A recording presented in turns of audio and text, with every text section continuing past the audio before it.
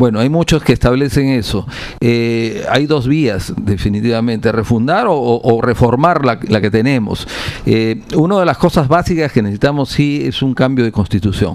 Porque hacer una reforma, yo soy de la idea de hacer un cambio de constitución. Lamentablemente la constitución del 93 nació producto de un golpe de Estado, que se dio el año 92, y se manejaron las cosas muy arbitrariamente. La constitución del 79, que era la que estaba vigente, ya han pasado muchos años, tenemos eh, prácticamente 35 años de, de, esa constitución. Yo creo que las épocas han cambiado mucho. Tenemos que adecuar nuestra constitución a las realidades que vive el Perú actualmente para permitir precisamente el progreso y desarrollo del país. ¿no?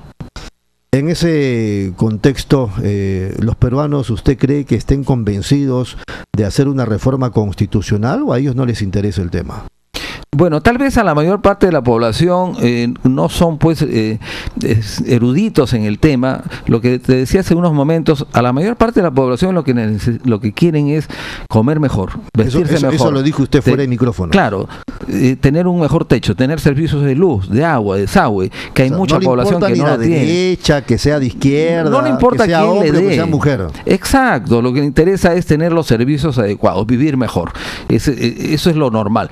Que, la, la gente se ha vuelto muy pragmática. O sea, el, escuchar izquierda o derecha para ellos no tiene mayor eh, preponderancia.